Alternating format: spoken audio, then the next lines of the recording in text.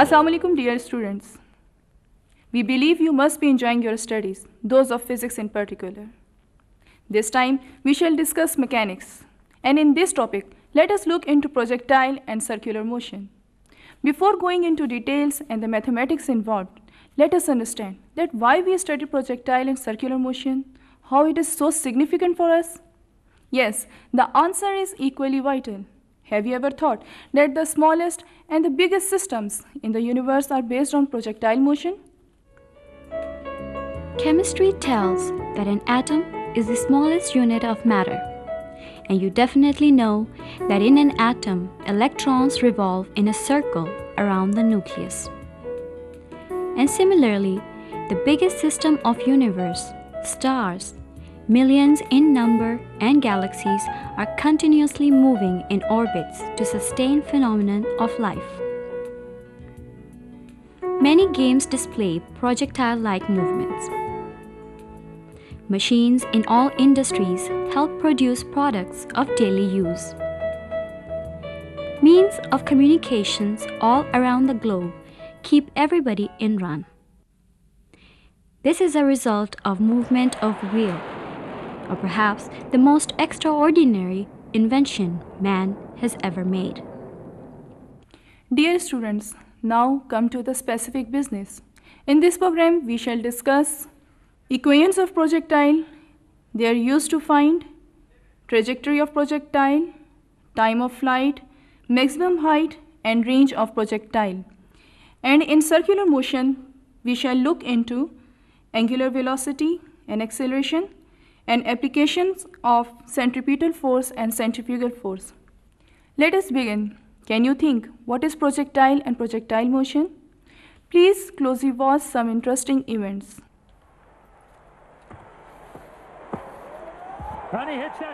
Well done. Look carefully at the motion of man. From this point to this one. Again, see the jump from this point to this. Also note the motion of football kicked and landing point. You notice that in all events, the objects moved on a specific path freely, but only under the action of gravity.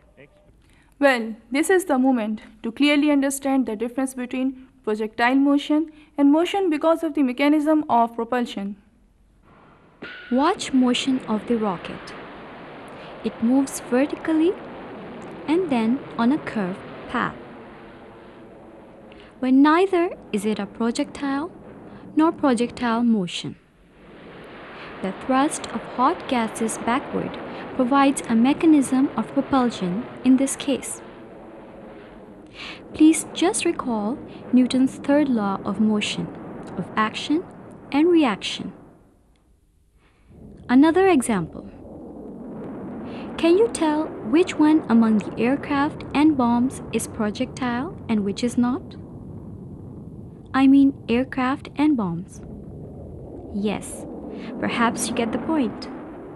Bombs are projectiles because of free movement in air, but aircraft follows the law of action and reaction. Dear students, mathematics plays key role in all the sciences, especially physics. You will wonder how mathematics helps to solve the problems of projectile motion. Well, First we shall discuss four equations and then we'll apply them to find out some quantities of projectile like trajectory, time of flight, range and maximum height. Let us have details. Welcome. First we differentiate between projectile and projectile motion. A projectile is an object which moves freely under the action of gravity in two dimension having no mechanism of propulsion. Now to understand projectile motion, let us have a look at the football game. Kicked and the ball travels along two paths, I mean horizontal axis and vertical axis. But observe carefully, when ball reaches at the highest point C, its vertical component of velocity Vy is 0 because it does not move upward further. But horizontal component Vx continues at the constant speed. So what is your observation about the horizontal component of velocity Vx? Yes, it remains constant throughout the flight. What about Vy? It has maximum value at the launching point A, decreases with time, becomes zero at the highest point and then increases while its movement downward. So how you will define projectile motion? A type of motion in which horizontal component of velocity remains constant throughout the flight whereas vertical component of velocity changes with time is known as projectile motion. Now we take up equations which we use to solve different problems of projectile motion. These are distance s is equal to initial velocity vi multiplied by t plus half into acceleration a into t square. Final velocity vf is equal to initial velocity vi plus acceleration a multiplied by time t. First take equation 1 and for its horizontal direction we replace distance s by x the horizontal displacement vertical velocity vi by vix and acceleration a by ax. Therefore, velocity equation 1 takes the form x is equal to vix into t plus half ax into t square. Please recall your program on scalar and vectors where you learned that magnitude of horizontal component of a vector a is given by ax is equal to a cos theta. Then what about vix? Yes, vix is equal to vi cos theta. We replace vix by vi cos theta. What about ax? Since vx remains constant throughout the flight, therefore ax is equal to 0, which gives x is equal to vi cos theta multiplied by t. This is our equation A. Now we take an example here. Suppose vi is equal to 20 meter per second, theta is equal to 30 degree and it takes 1 second to reach the point B. Then x is equal to 20 multiplied by cos of 30 multiplied by 1. Now the value of cos 30 is equal to 0.866. Thus x is equal to 20 multiplied by 0.866 multiplied by 1. So x comes out to be 17.3 meter. This means that its horizontal displacement after 1 second will be 17.3 meter. Now for displacement along vertical direction, S is replaced by vertical displacement y, Vi by Viy and A by Ay. Again Viy is equal to Vi sin theta, but here Ay is important. Since football is decelerated under the action of gravitational force while moving upward, therefore Ay is equal to minus g. Putting these values we get y is equal to Vi sin theta into t plus half into minus g into t square. Now taking minus out of the bracket we have y is equal to Vi sin theta into t minus half gt square. This is our equation B. Again taking the same values that is Vi is equal to 20 meter per second, theta is equal to 30 degree and t is equal to 1 second. Putting all these values in this equation we get y is equal to 5.1 meter. Now we take the equation of velocity along horizontal direction. Vf is equal to Vi plus At.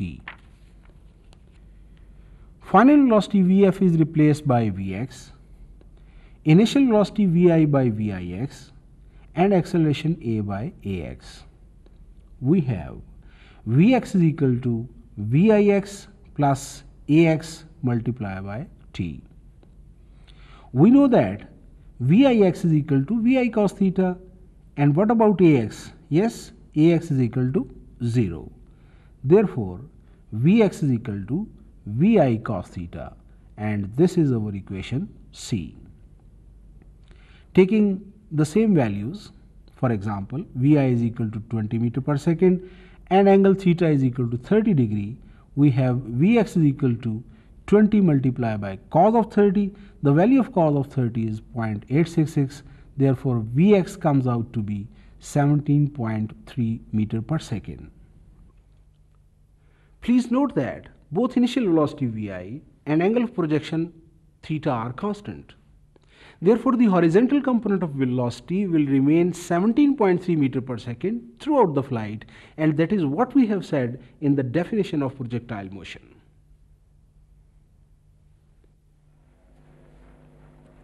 He's over. You have seen a very successful high jump.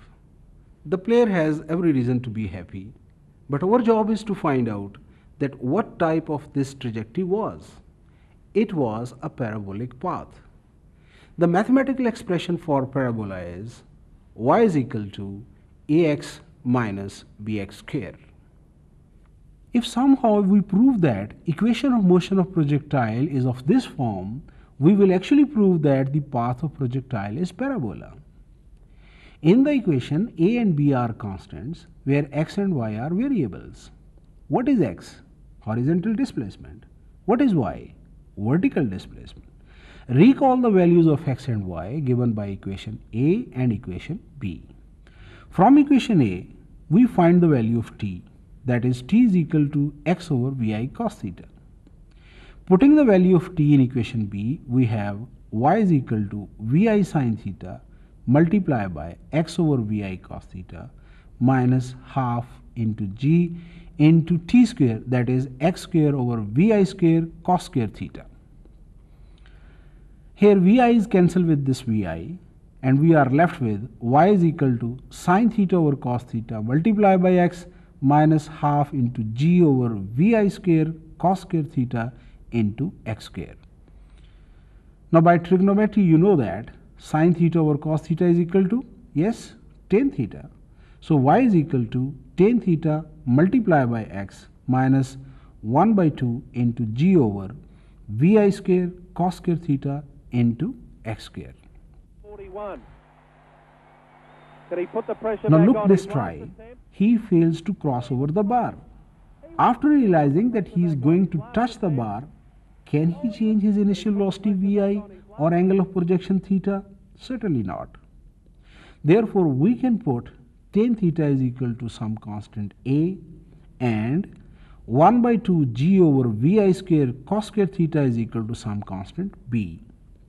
Putting these values, we get y is equal to ax minus bx square. This proves that path of projectile is parabola.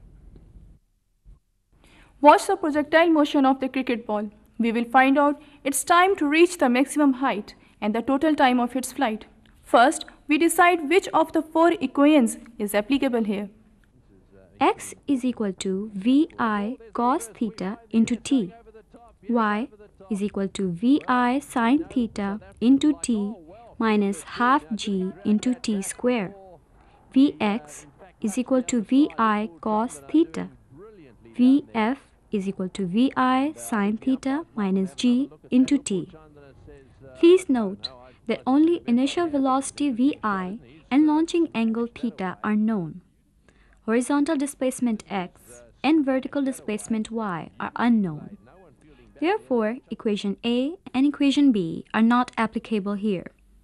Time t is not a factor of third equation C. Then the only option left is the fourth equation D. Vy is equal to Vi sine theta minus g into t. Just recall that value of vertical velocity Vy is 0 at the highest point. Thus Vy is equal to 0. 0 is equal to Vi sine theta minus g into t. We take g into t on the left hand side. g into t is equal to Vi sine theta and t is equal to Vi sine theta divided by g. Let the initial velocity of the ball be 42 meters per second and angle of projection be 45 degrees. Then t is equal to 42 into sine 45 divided by 9.8 which is equal to 42 into 0.707 divided by 9.8 which is equal to 3 seconds. You will agree with me that the time to reach the maximum height is equal to the time taken by the ball to move from the point of maximum height to the landing point. If we denote the total time by the capital T, then capital T is equal to T plus T. Putting the value of small t, we get total time is equal to 2vi sine theta divided by g. In this case, the total time of flight will be 6 seconds. So the fielder could not estimate the total time of flight. Otherwise, raising finger of the umpire would have shown the batsman the path to pavilion. In order to find out the maximum height reached by the ball, again look at four equations. The last two equations deal with the velocity and not displacement.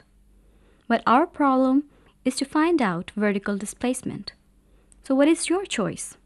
Of course, same as ours y is equal to vi sine theta into t minus half g into t square. Here t is a time to reach maximum height and is given by capital T is equal to vi sine theta divided by g. Also put y is equal to h, which is in notation for maximum height.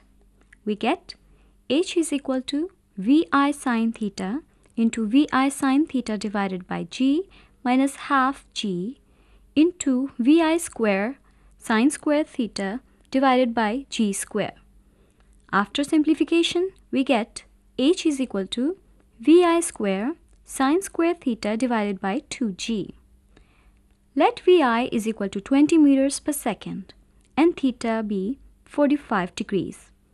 Then h is equal to 20 square into 0.707 square divided by 2 into 9.8 which is equal to 10.2 meters. What happens if the angle of projection would be 80 degrees? h is equal to 20 square into sine 80 square divided by 2 into 9.8 which is equal to 19.8 meters. We may be happy that maximum height has almost doubled but not the batsman. Please note here some important results of projectile motion. In the absence of gravitational force, the projectile would have covered a displacement of VIT.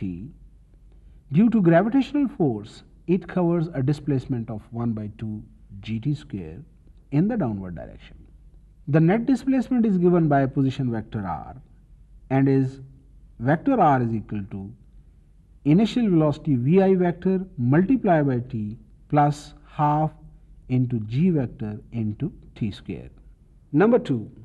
The range of projectile increases with the angle of projection. It becomes maximum at an angle of 45 degree. From 45 to 90 it decreases and in fact at an angle of 90 degree it becomes 0. Number 3. The maximum height reached increases with the angle of projection and at an angle of 90 degree it becomes maximum. Well, we understand that your concept of the projectile motion is more clear. You can also try to calculate range, maximum height and other quantities using appropriate equations. Now we move to the circular motion. You are already aware of linear motion, displacement, velocity and acceleration. This time we are going to discuss their corresponding terms about the angular motion. These are angular displacement and its SI units radian, angular velocity and acceleration. Well, linear motion is described by linear displacement. Obviously, angular displacement is described by angular displacement. A particle moves from point A to point B. The angle made by the arc AB at the center of circle is called angular displacement we measure this angular displacement in degrees, revolutions and radians. Suppose radius of circle is 5 centimeter and the length of arc is also 5 centimeter. Then the angle at the center of the circle is measured as 1 radian. Okay, how we define linear velocity? The rate of change of linear displacement is called linear velocity or simply velocity. Similarly, we can define angular velocity. The rate of change of angular displacement is called angular velocity and it is denoted by omega. Linear velocity is expressed as v is equal to delta d by delta t, where delta d is the linear displacement and delta t is the time interval for that displacement. Similarly, mathematical expression for angular velocity is omega is equal to delta theta by delta t. Units of angular velocity are degree per second, revolutions per second and radians per second. Angular velocity is a vector quantity, so it must have direction. We will use a right hand rule to find out the direction of angular velocity. Please note that the direction of angular velocity is always along the axis of rotation. Now suppose a wheel is moving in anti-clockwise direction. Curl the fingers of your right hand in the direction of rotation. The thumb will give you the direction of angular velocity which is towards me. Now suppose the wheel is moving clockwise. Curl the fingers of your right hand in the direction of rotation. I can't do it. Can you? Don't take a risk. The right way is curl the fingers of your right hand in the direction of rotation. The thumb will give you the direction of angular velocity which is towards you. Rate of change of linear velocity is called linear acceleration or simply acceleration. Similarly, rate of change of angular velocity is called angular acceleration and it is denoted by alpha. So, alpha is equal to delta omega by delta t. Delta omega is the change in angular velocity in time interval delta t. The units of angular acceleration are degree per second square, revolution per second square and radian per second square. And last but not least, concepts of the centripetal force, acceleration and centrifugal force will be vital in discussion. Let us try to understand the application of centripetal acceleration. When a stone is tied to a string and moves around in a circle with constant speed, one feels force or pull in the string needed to keep the stone moving on a circular path. Although the stone is moving with constant speed, but the presence of force implies that stone is under acceleration and that acceleration is called centripetal acceleration. Please note that the speed of the stone is constant but not the velocity. The velocity of a body can be changed either by changing its magnitude or direction.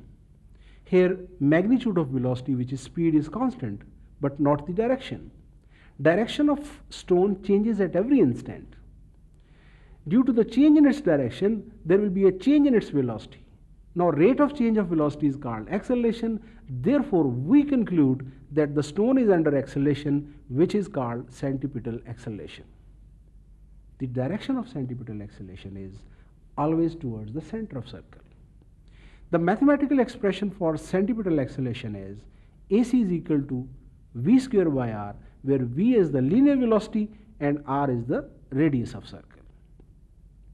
Newton's second law of motion tells us that acceleration can only be produced in a body when a net force acts upon it. Here, this force is centripetal force.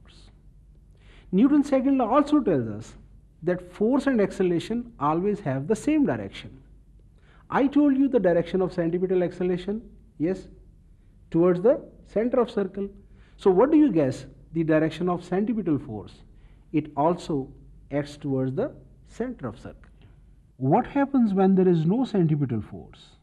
The stone has moved at tangent to the circular path. Electrons revolve around the nucleus. Electrostatic force is the centripetal force in this case. The other examples may be planets' movement around the sun. Which force provides the necessary centripetal force? Of course, the gravitational force between the sun and the planets. Well, viewers, before close, let us have a quick look on the contents we discussed. First, we learned about vertical and horizontal components of the projectile motion. Then, the trajectory or the parabolic path of the projectile was explained. Next, we used relevant equations to calculate time of flight and maximum height and range of projectile. In the second portion, the details of angular velocity and angular acceleration were given. And just in the end, you watched how centripetal force and centrifugal force are applied on a body moving in circle. I hope that the program has been of some help in your studies and understanding of physics. See you next time. Allah Hafiz.